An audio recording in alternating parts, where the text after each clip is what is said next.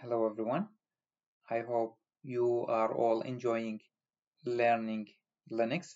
It's a powerful tool that you have to learn, you have to know, you have to work with it if you are a computer science student because this is for your future.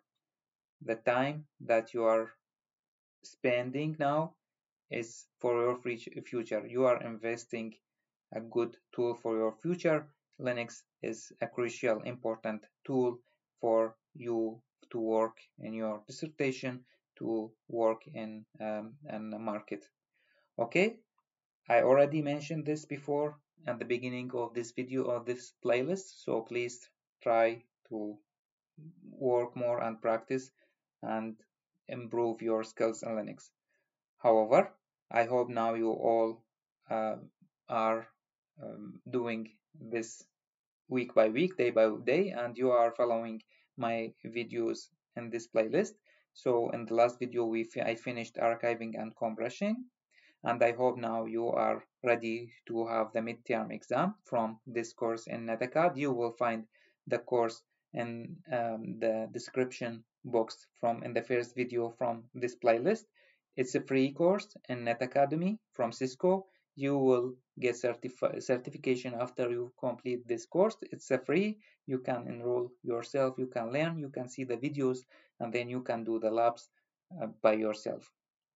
What i am doing the labs here but watching the videos are not enough. You have to practice yourself using this environment inside your windows 11 which is called WSL. You can reach it, this one here. All right, so you do this now.